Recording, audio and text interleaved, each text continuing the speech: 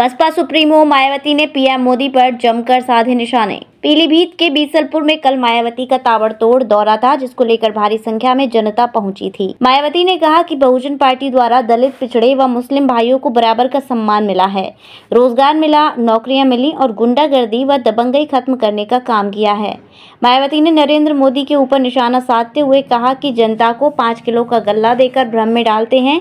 ये गल्ला नमक, दालचीनी कोई प्रधानमंत्री नहीं देते, ये जनता के टैक्स से आता है।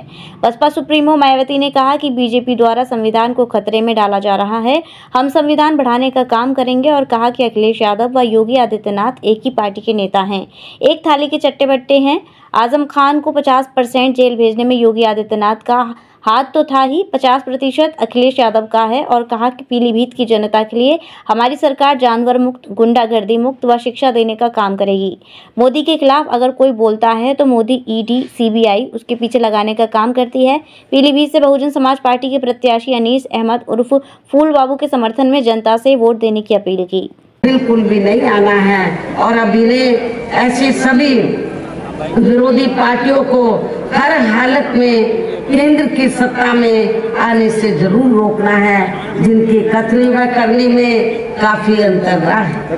तथा जिन्हें ये लोग वर्षों से काफ़ी आजमा भी चुके हैं। ऐसे में अब मेरा यही कहना है कि आप लोगों को अपने खुद के वे अपने प्रदेश एवं देश के भी हित में अपने वोटों को यहाँ कांग्रेस बीजेपी व अन्य विरोधी पार्टियों को न देकर केवल अपने एकमात्र हितेशी पार्टी, बहुजन समाज पार्टी को ही देना है। जो ये पार्टी उत्तर प्रदेश की तरह ही केंद्र में भी अपनी पार्टी की सरकार बनने पर फिर पूरे देश में यहाँ अपनी पार्टी की सर्वजन हिताय शादी का सीज़न हुआ शुरू, जिसके लिए न्यू साड़ी रेडीमेड एम्पोरियम आपके लिए लेकर आए हैं एकदम फ्रेश स्टॉक जहाँ आपको मिलेंगे डिज़ाइनर लहंगे 6000 से लेकर 60000 तक। वहीं हैवी डिज़ाइनर साड़ियाँ 2500 से लेकर 25000 तक। और हैवी शॉर्ट्स एंड स्टॉल्स भी अवेलेबल